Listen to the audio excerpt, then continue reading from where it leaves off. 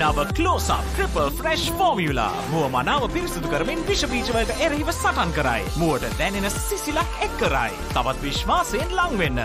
නව කලෝසප් triple fresh formula. අද නඩුව කැඳවනු ලැබුවේ ප්‍රියන්ත චයවර්ධන කුමුදුනි වික්‍රමසිංහ සහ ප්‍රියන්ත ප්‍රනාන්දු යන ශ්‍රේෂාධිකරණ විනිසුරු මඩුල හමුවේ. මෙය ජාතික මෙන්ම අන්තර්ජාතිකවත් වැදගත් කරුණක් බව එහිදී පෙත්සම්කරුවන් පෙන්වා දුන්නා.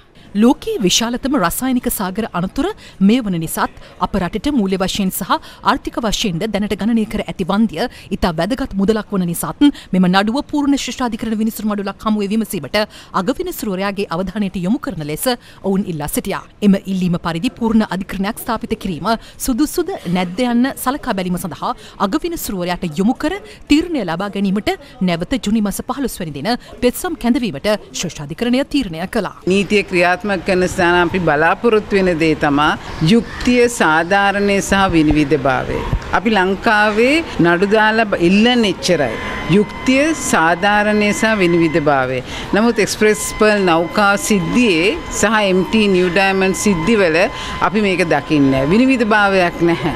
ඇත්තටම සිස්ටම් චේන්ජ් එකක් කියන්නේ විනිවිදභාවයෙන් තියෙන ක්‍රමවේදයක් සකස් වෙන.